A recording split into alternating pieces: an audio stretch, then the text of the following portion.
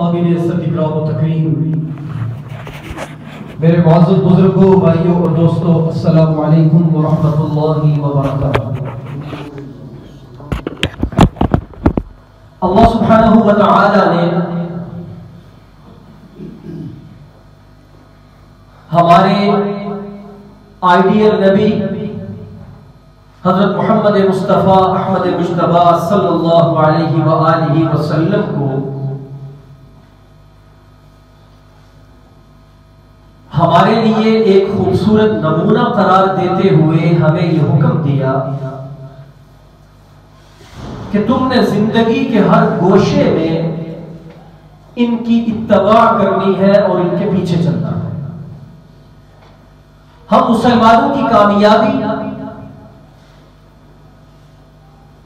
दुनिया के अंदर हमारी शान और बुलंदी हमारी इज़्ज़त और हमारा गलबा ये रसूल अकरम सल्लल्लाहु अलैहि व आलिहि वसल्लम के उसवा हसना में पोशीदा है। तो हमें यह कोशिश करनी चाहिए कि हम ज़िंदगी के किसी भी मरहले में कदम रखने से पहले हुजूर नबी करीम सल्लल्लाहु अलैहि व आलिहि वसल्लम का तरीक़ ज़िंदगी देख कि वो क्या था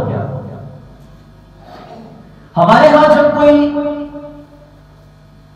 हमारा लड़का या लड़की बलूगत की उम्र को पहुँचते हैं, यानी जब जवान होते हैं तो एक ज़रूरी मरहला वालिदैन के लिए उनके निकाह और शादी का आता है। हर कौम के अंदर शादी होती है। हर मज़हब के लोग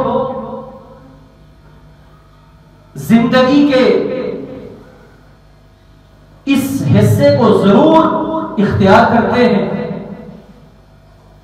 इस्लाम ने भी हमें इस बारे में बड़े वाजे अहकाम बड़ा वाजे हुक्म नबी सलाम की मुबारक ज़िंदगी में इसका नमूना पेश किया है। लिहाजा हमें यह चाहिए, वालिदेन को भी, और जिस लड़के या लड़की की आप शादी निकाह करने जा रहे हैं उनको भी चाहिए कि अल्लाह के नबी सल्लल्लाहु अलैहि व वसल्लम के उस मुबारक नमूने को देखते हुए उसके पीछे चलकर उसी तरह अमल करने की कोशिश और फ़िक्र करें। हुजूर नबी करीम सल्लल्लाहु अलैहि व आलिहि वसल्लम की उम्र मुबारक जब 20 साल हुई तो आप सलाम ने अपने चचा, हज़रत अबू तालिब का तजारत के अंदर हाथ बटाना शुरू फरमा दिया। चूँकि अल्लाह के नबी सलाम उस वक्त मक्का के अंदर सबसे बड़े सादिक और अमीन थे। हमेशा सच्ची बात कहना, सच्ची बात करना, सच पे अमल करना और अमानतदारी का एहतमाम और ख्याल करने में आपका कोई साली नहीं था। और ये दो सिफात जिस इंसान के अंदर आ जाए। तो मुआशरे के अंदर, लोगों के अंदर उसका चर्चा हो जाता है। अगरचे इसे बहुत कम लोग इख्तियार करते हैं। लेकिन जो सही बात होती है,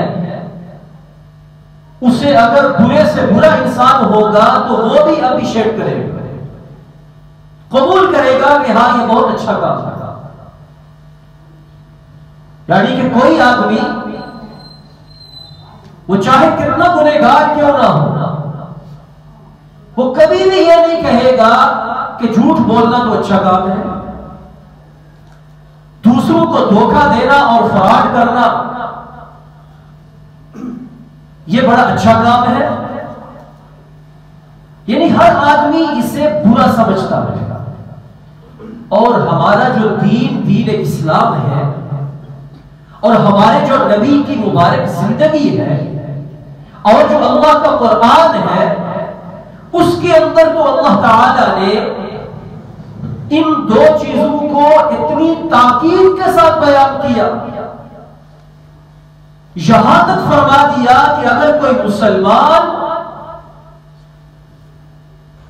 बात करते हुए झूठ बोलता है, जब उसे अमानतदारी का कहा जाए तो उसमें खयानत करता है। तो हुजूर अकरम सल्लल्लाहु का ऐलान है कि तुम यकीन कर लो कि यह मुसलमान नहीं है यह मुनाफिक है। आयतुल मुनाफिक सलासुल फरमाया कि मुनाफिक की तीन निशानियाँ हैं। इदा हद्दसा कैजीबा। जब बात करे, झूठी बात करे, इसका यह मतलब नहीं कि जब भी बोले तो झूठी बोले। ऐसा तो मुमकिन ही नहीं है। इसका मतलब यह है कि झूठ बोलते हुए उसे जरा भी शर्मो हया ना आए। झूठ भी बोले तो चढ़ के बोले। और झूठ बोलकर अगले को धोखा देकर फिर सीना भी फुलाए कि जी मैंने तो उसके साथ ऐसा काम लगाया है कि साहिब को खबर ही नहीं मिली। यह है कि जब भी बात करे, झूठ बोले। वो इदा वाद अखलफ। किसी के साथ अहदो पैमान करे, कोल करार करे, ज़ुबान करे। फरमाया कि उसे उस वादे को तोड़ने में, उस ज़ुबान को तोड़ने में किसी किस्म की शर्म हया माने ना हो, वादा खिलाफी करे तो ये भी कहने को तो मुसलमान है, लेकिन अल्लाह के कागजों में नाम अमाल में ये मुनाफिक और तीसरी निशानी हुआ, इधर तुमिना खान। जब अमानत उसके सुपर्द की जाए, याद रखें, अमानत का बाप बहुत वसी है। अमानत सिर्फ़ यह नहीं कि आपने किसी के पास कोई चीज़ रख ली, पैसे रख लिए, और उसे कहा कि यह संभाल के रखना, जब मैं आपसे लेने आऊँ तो मुझे दे देना। आम मतलब तो यही है। लेकिन शरीयत मुतहरा में अमानतदारी का मफहूम बहुत वसी है। आप किसी इदारे के सरबरा हैं। जो काम आपको सौंपा गया है, आप उसमें कमी बेशी करते हैं तो आप अमानत में खयानत कर रहे हैं।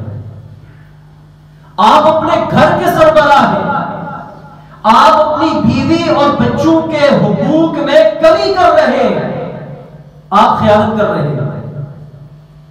गर्ज ये कि आप जिस चीज़ के जिम्मेदार बना दिए गए, जिस चीज़ के मसूल बना दिए गए, उसके अंदर अगर आप अपना वक्त पूरा अदा नहीं कर रहे या वो काम पूरा नहीं कर रहे तो आप उस अमानतदारी में ख्यालत के मुतजिब हो रहे हैं।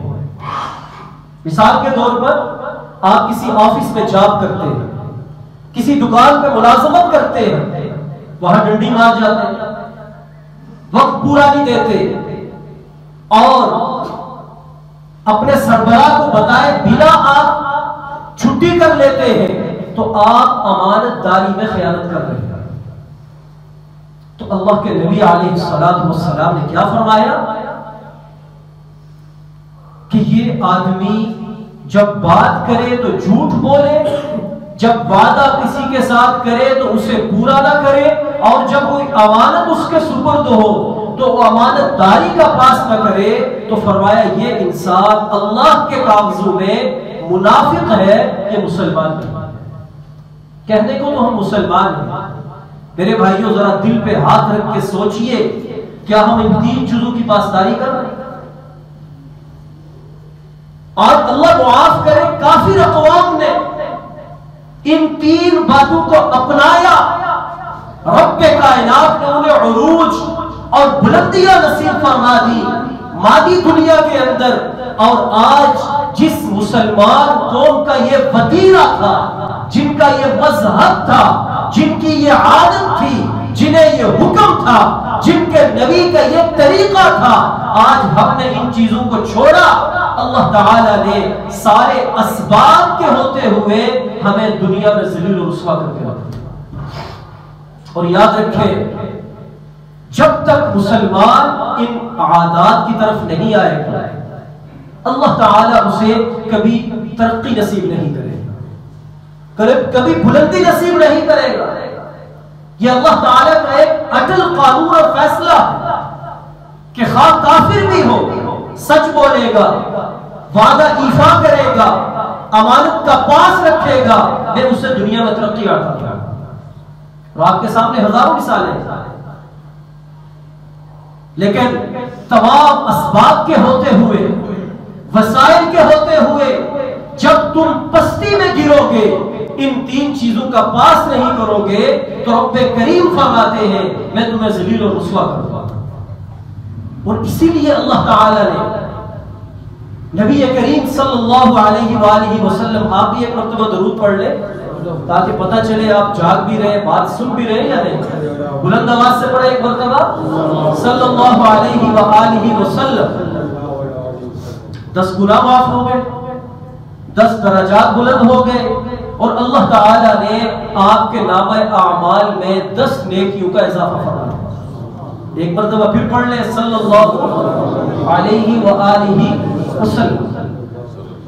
तो आप सलाम की जो चालीस साल ज़िंदगी है, बेसत से पहले की, उसके अंदर अल्लाह ताला ने मक्का की धरती के ऊपर आपका चर्चा, आपकी शोहरत आप सलाम की मारिफत और पहचान वो किस चीज़ से करवाई? दो बातों से। दो सिफात से। एक, सादिक। क्या कहा मैंने? सादिक। और दूसरा, अमीर। क्या कहा मैंने? अमीर। यानी कि आप सलाम हमेशा सच बोलते थे और आप सलाम हमेशा अमानतदारी का ख्याल करने वाले और इसीलिए जब आप कोहे सफ़ा पे चढ़े, जब अल्लाह ताला का हुक्म आया वह अनदिर आशीरत अकरबी कि अपने रिश्तेदारों को अल्लाह के दीन की दावत दीजिए, कोहे सफ़ा पे चढ़ने के बाद आप सलाम ने उन लोगों से क्या सवाल किया? अगर मैं तुमसे ये पूछूँ कि इस पहाड़ के दूसरी जानब से एक बहुत बड़ा दुश्मनों का लश्कर, वो तुम पे हमला आवर हुआ चाहता है, क्या तुम मेरी बात का यकीन कर लो? अबू लहब भी खड़ा है, अबू जहल भी खड़ा है रुतबा शहबा भी खड़े हैं बड़े बड़े सरदारान कुरेश खड़े हैं। अबू जहल आगे बढ़ा, कहने लगा ओ भतीजे, तू ये बात कर रहा है, अगर मैं इस पहाड़ पे चढ़ूं और पहाड़ पे चढ़ने के बाद दूसरी तरफ़ देखूँ और मुझे अपनी आँखों के साथ कोई लश्कर नज़र ना आए, मैं फिर भी यकीन कर लूँगा कि तू सच बोल रहा है, अबू जहल की आँखें धोखा पा इतना यकीन क्यों हुआ?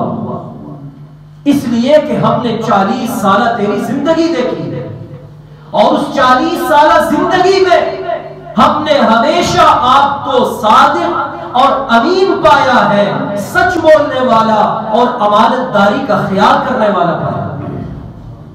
तो चालीस साल ज़िंदगी में जो कुरैश के दिलों में आपकी सिफात बैठाई गई, वो कौन सी थी? एक सादिक और एक अमीन लिहाजा अगर हमें किसी के दिल में घर करना है अगर हम किसी के सामने अपना आप मनवाना चाहते हैं, अगर हम अपने मुआशरे के अंदर इज़्ज़त चाहते हैं तो हमें ये दो सिफात अपनानी एक सिर्फ़ और एक अमानतदारी कि जब हमारे अंदर सच होगा, ज़ुबान पे झूठ नहीं होगा, और जब हम हर काम के अंदर उसका हक अदा करेंगे, किसी की हुकूक तलफी नहीं करेंगे, किसी के साथ खयानत नहीं करेंगे तो अल्लाह इज़्ज़त हमें वो बुलंदी अदा करेगा कि फिर लोग कहेंगे, मेरी आँख ने गलत देखा होगा। ये जो बात कह रहा है, ये बात सच्ची कर रहा है।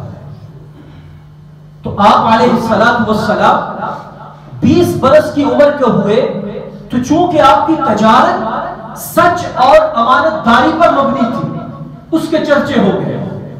हर तरफ़ आप सलाम के काम का, आपके नाम का टंका बजने लगा।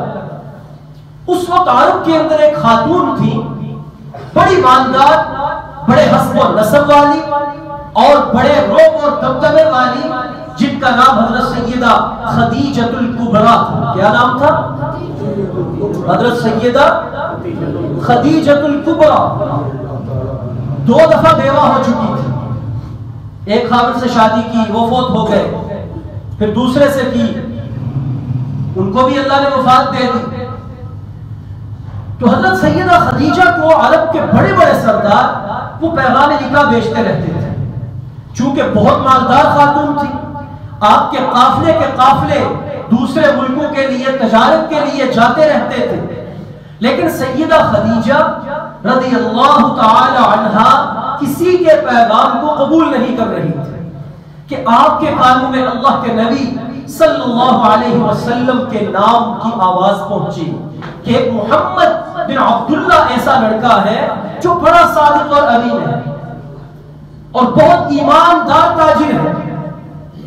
अपने मैसरा गुलाम के साथ मशवरा किया कि चूँकि मेरा माल लेकर जाने वाला कोई नहीं, मैं औरत जात हूँ, मैं जा नहीं सकती तो ऐसा करो कि तुम मोहम्मद से कहो, आप कहे सल्लल्लाहु कि वो मेरा माल लेकर जाए। और आपकी जो अमानतदारी के चर्चे हैं, अगर आप मेरा माल फरोख्त करके आएँगे तो जो मैं दूसरों को नफा देती हूँ, आपको उससे कई गुना ज़्यादा आता करूँगा। और मेरा ये गुलाम मैसरा ये आपकी खिदमत भी करेगा। आपका मुआविन भी होगा, चुनाचे आप इसे भी साथ लेकर जाए। अल्लाह के नबी सलाम ने अपने चचा के साथ मशवरा किया और आप इसके अंदर ये मुआवला तय पा गया आप माल लेकर तशरीफ़ ले गए। आगे मैसरा बयान करता है, जो आपके साथ साथ था। कहता है कि जब भी हम रास्ते में कहीं पड़ाव डालते तो चूँकि उस वक्त होटल सराय तो होते नहीं थे किसी भी दरख्त के नीचे बैठ गए, कहीं भी खेमा लगा दिया। तो मैं देखता कि आका सलाम जहाँ तशरीफ़ फरमा होते थे, वहाँ पर अगर सूरज की किरणें आकर पड़ रही होती या दरख्त से सूरज की किरणें छन कर आपकी तरफ़ आ रही होती तो मैं दरख्तों की टहनियों को देखता कि वो घूम कर अल्लाह के नबी सलाम के ऊपर आ जाती और आपको छौ से राहत पहुंचाती। और रास्ते में जब, चूँकि अरब गर्म इलाका है, धूप बर्दाश्त नहीं होती, जब भी आप सलाम को धूप लगती तो मैसरा कहता है कि मैं देखता कि बादल का टुकड़ा आता और आप पे साये फगर हो जाता। गुजश्ता से पैवस्ता जुमा मैंने आप हजरात से अर्ज़ किया था कि आपका पहला सफ़र तजारत के लिए किस उम्र में हुआ? आप बतलाएँ। आपका पहला सफ़र तजारत किस उम्र के अंदर हुआ? बारह साल की उम्र में। तवज्जो से बात सुना करें। अल्लाह के नबी की सीरत तय्यबा को सुनना, याद रखना, ये हमारे ईमान का हिस्सा नहीं है। हमारी नजात का ज़रिया। अगर आपको अल्लाह के नबी के साथ मोहब्बत है तो उनकी सीरत उनकी तारीख आप सलाम की ज़िंदगी के हालात ये हमें अजबर होने चाहिए। आपका ईमान है क्या नहीं? तो याद रखा करें। वो बारह साल की उम्र में जब गए अबू तालिब के साथ पहला सफ़र रास्ते में एक राहिब से मुलाकात हुई उसका नाम क्या था? बहेरा राहिब उसने मशवरा दिया कि इनको वापस भेज दिया जाए।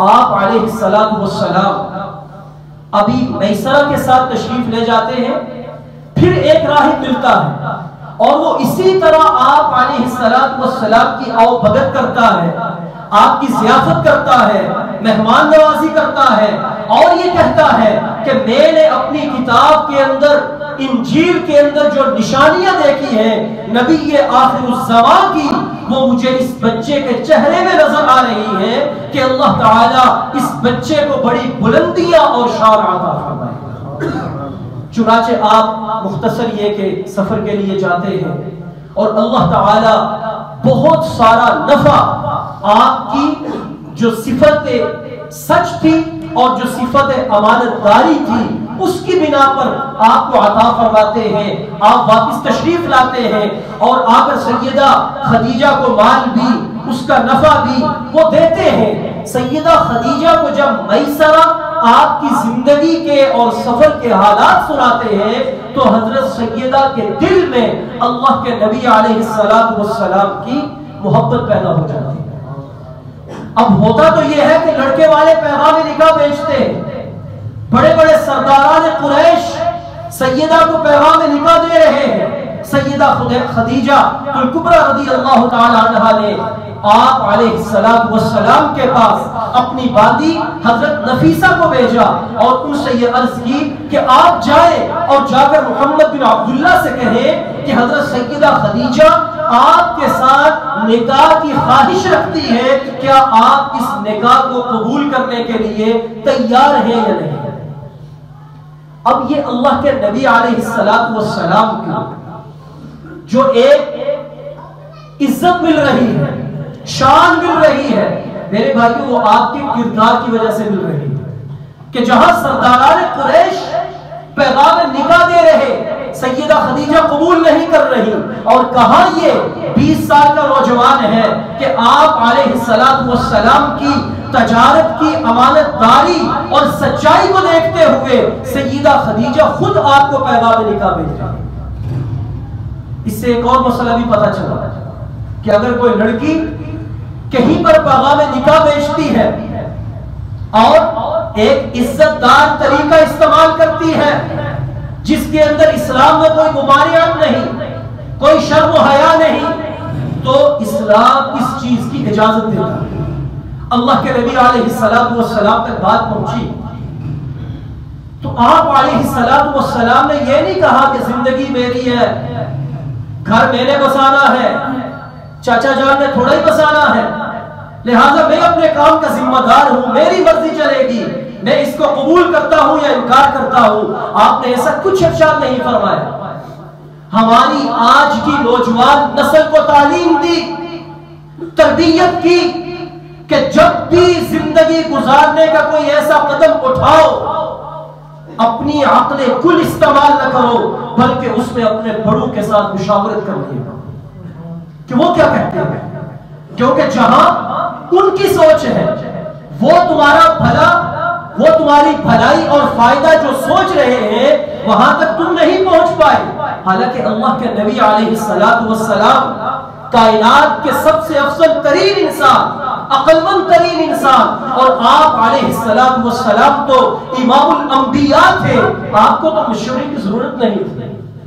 क्या आपने तो हमेशा दुरुस्त फैसला करना था? लेकिन उम्मत को तालीम दी।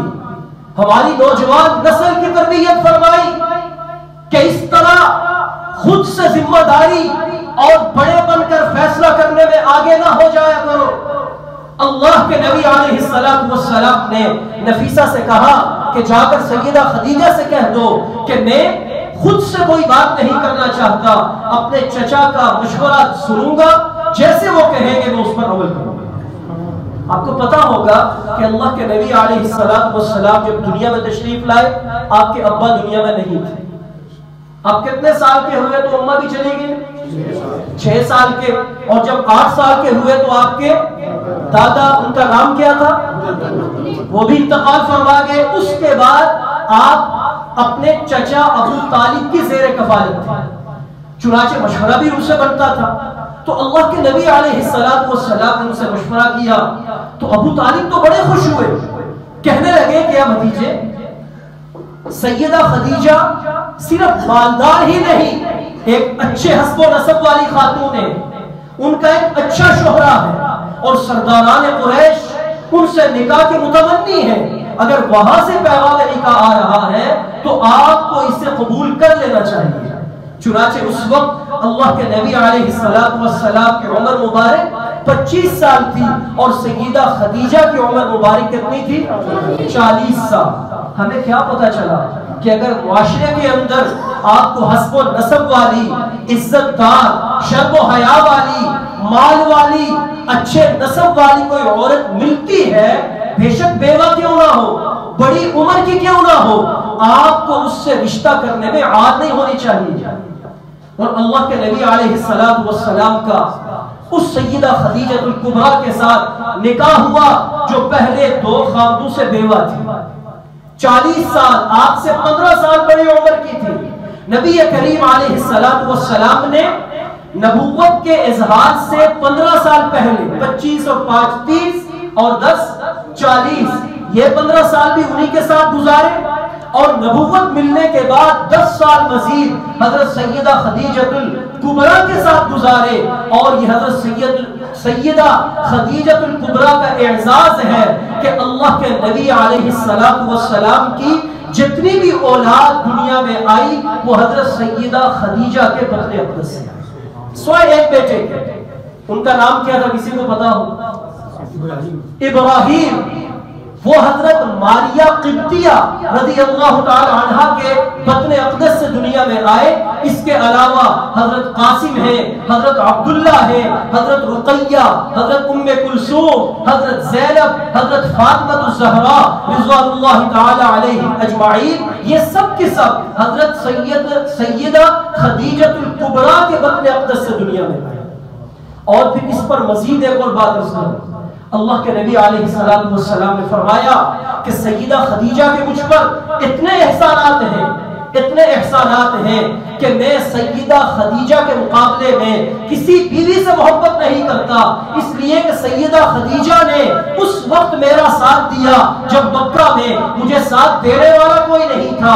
सईदा खदीजा का माल मुझे उस वक्त काम आया जब मक्का में मेरे पास माल नहीं था। और आप सलाम की जितनी औलाद थे, जो बेटे थे, हज़रत कासिम इब्राहिम अब्दुल्ला अल्लाह ताला ने हालत सिगर के अंदर, बचपने के अंदर अल्लाह के नबी से वापस ले लिया अपने पास वापस बुला लिया। आप भी औलाद वाले हैं। जरा दिल पे हाथ रख के सोचे कि अगर किसी बाप के तीनों बच्चे और फिर बचपन की हालत में इस दुनिया में आने के बाद एक एक करके अल्लाह वापस बुला ले, उस बाप के दिल पे क्या होगा? क्या गुजरती है? कितनी बड़ी आजमाइश है? अल्लाह के नबी सलाम हज़रत इब्राहिम को दफन कर रहे हैं। आपकी आँख से आँसू मुबारक मोतियों की तरह झड़ रहे हैं। एक सहाबी ने अर्ज़ किया रसूल अल्लाह क्या आप भी रोते हैं? अल्लाह के नबी ने फरमाया हाँ। गम वो है जो दिल से निकले और आग के रास्ते बाहर आए। गम वो नहीं है कि तुम अपना गरेबान पीटो, तुम अपने बाल नोचो और तुम अपने ऊपर मट्टी डालो। तो आप सलाम पर इतनी बड़ी आजमाइशें आई। मेरे भाइयों, आज अगर हमारा बेटा अल्लाह ताला वापस ले जाए, हमारी बेटी वापस ले जाए, हमारा बाप या माँ इस दुनिया से चला जाए तो एक लम्हे के लिए अल्लाह के सामने ना शुक्री करने के बजाय ये सोच लिया करें, ये देख लिया करें कि जिनके लिए कायनात बनाई गई, अल्लाह ताला ने उनका एक नहीं, दो नहीं, तीन लफ्ते जिगर हालत सिगर में वापस अपने पास बुला लिए। पता क्या चला कि आजमाइश जो आती है, इम्तिहान जो आता है, ये अल्लाह की तरफ़ से आता है और अल्लाह ताला अपने मकबूल बंदों पर इम्तिहान उतारा करता है। तो आपको सुकून मिल जाएगा, हौसला मिल जाएगा। फिर इन्ना लिल्लाहि व इन्ना राजिऊन, कहने का मज़ा आएगा। और फिर ये भी अर्ज़ करता चलूँ कि आप व सलाम की कितनी बेटियाँ? चार बेटियाँ। तीन बेटियाँ आपकी ज़िंदगी में ही इंतकाल कर गई।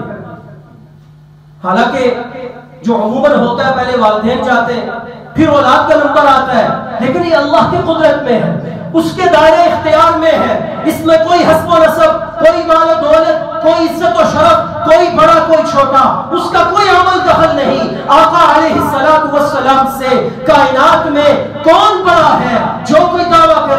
कायनात का बदतरीन काफिर है। लेकिन अल्लाह के नबी आलम अभी दुनिया में मौजूद है।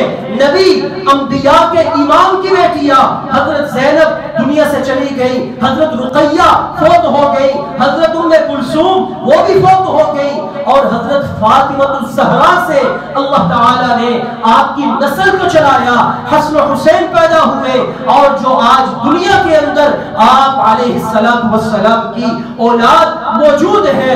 मेरे भाइयों, मैं अर्ज़ ये कर रहा हूँ कि जब निकाह करो तो उस वक्त ये चीज़ देखा करो कि दीनदारी है कि नहीं। ये देखा करो, अमानतदारी है कि नहीं। ये देखा करो, सच है कि नहीं। अगर ये सारी बातें मौजूद हैं तो फिर ये मत देखना कि वो मेरी उम्र से कम है, मेरी उम्र से ज़्यादा है, वो कंवारी है, या इसी तरीका से मुतलका है, या बेवा है।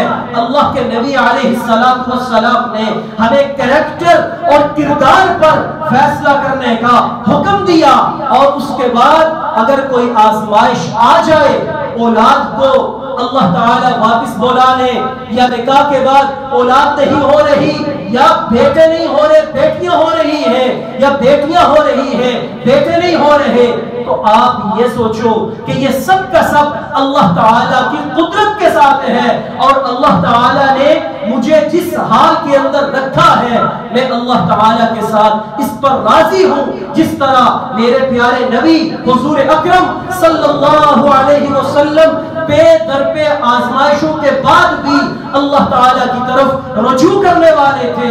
मैं भी इसी तरह रजू करता हूँ। अल्लाह ताला के अमल नसीब फरमाए। वाखिर अल्हम्दुलिल्लाह